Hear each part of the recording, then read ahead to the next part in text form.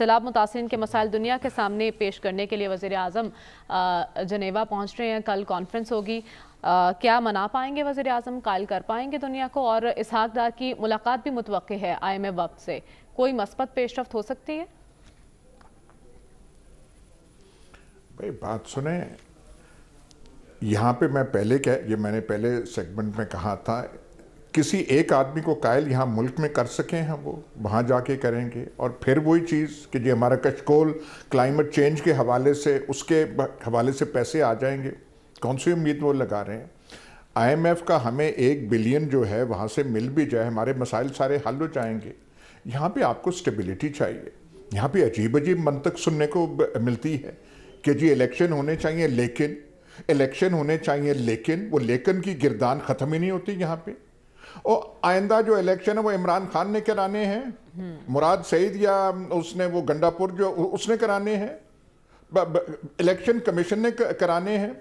चाहे उस पर बायस का इल्ज़ाम है उन्होंने कराने उनके पीछे जैसे हम इस्टेब्लिशमेंट कहते हैं, वो होना है। तो फिर क्यों आपको खदशा है कि वो यहाँ पे कोई जाली वोट पड़ेंगे या इलेक्शन शफाफ नहीं होंगे? कराने वाले वो होंगे। सेंटर में वे पीडीएम गवर्नमेंट है। केयर टेकर एक गवर्नमेंट होगी इलेक्शन आपने नहीं कराने। भाई, मुतबादल बता दे ना। अब ये जो कहना कि जी, इमरान खान को आप बिठा दें। भाई, आप इलेक्शन कराएँ।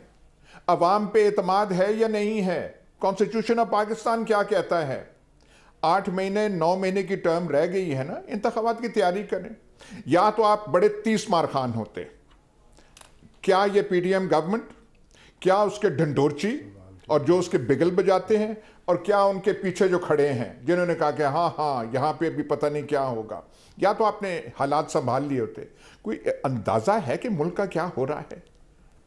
इकोनॉमी से लेके हर चीज़ लॉ एंड ऑर्डर टेररिज्म क्या क्या चीज़ें जो है। फौज हमारी हर बॉर्डर पे डिप्लॉयड है। कोई फ्रेंडली बॉर्डर पाकिस्तान का नहीं है इस वक्त। इंडिया, ईरान, अफ़गानिस्तान, वहाँ पे वो सारे हैं डिप्लॉय इंटरनल फ्रंट एक अलहदा खुला हुआ है। टेररिज्म जो है अपना सर उठा रहा है मीशत का हाल बेरोजगारी सब कुछ है। आपसे हालात हल नहीं हो रहे। कोई और आपको प्रूफ चाहिए? कहाँ से प्रूफ आपको चाहिए? भाई आप एतमाद करें उस पर नहीं लेकिन इंतबात लेकिन लेकिन अगर करते रहते हैं डर है आपको।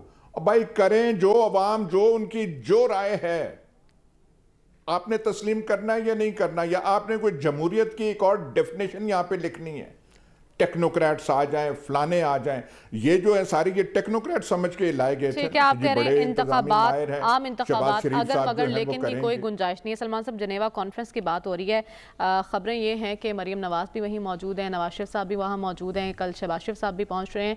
तो क्या कोई सियासी मुलाकात भी मुतव है? अब मैंने इसी सवाल का ही जवाब देना जी जी।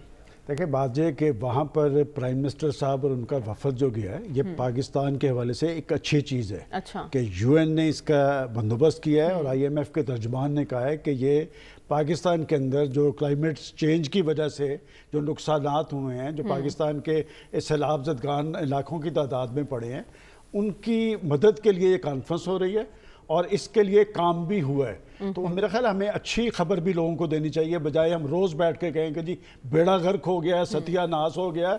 और इलेक्शन इलेक्शन, लेकिन मैं इसलिए कह रहा हूँ, वो जो आज गर्दान थे ना वो क्या थी कि जी इंजीनियरिंग पॉलिटिकल इंजीनियरिंग ये 2018 में पॉलिटिकल इंजीनियरिंग ये वही थी।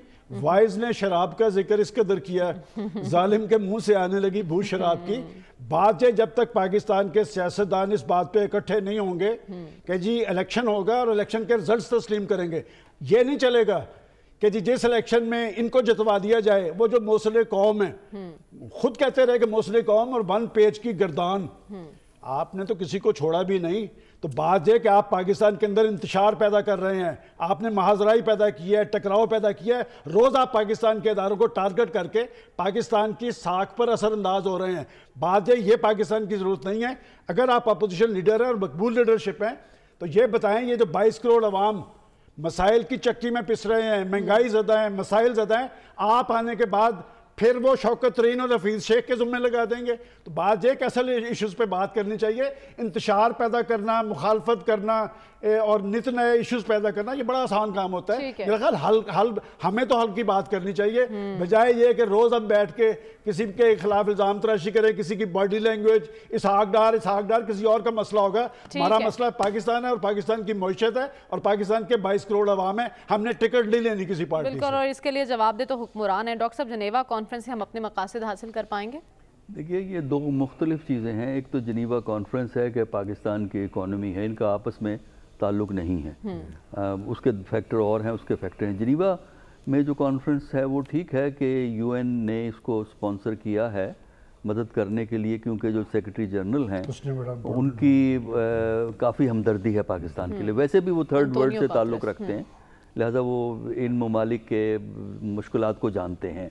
लेकिन एक चीज़ का आपको ख्याल रखना चाहिए कि ये जो इन्वायरमेंट का इन्होंने कवर पाकिस्तान ने जो इस्तेमाल करना शुरू किया है वो ज़रूरी नहीं कि इतना कामयाब हो जितनी आपकी ख्वाहिश है। अच्छा। हमने ये देखा है कि इस किस्म की कॉन्फ्रेंसेस में अगर प्लेजेस हो जाते हैं तो वो प्लेजेस को रियलाइज़ करना भी एक प्रॉब्लम होता है। यानी किसी ने कह दिया वहाँ कह दिया हम इतने पचास लाख डॉलर देंगे किसी ने कुछ कह दिया पाकिस्तान पाकिस्तान वो मुल्क बड़ा खुश होता है कि जी एक पाँच बिलियन की कमिटमेंट हो गई। लेकिन हमने देखा है इससे पहले हर किस्म के जो होता है अफ़गानिस्तान पे बड़ी कॉन्फ्रेंसेज हुई हैं।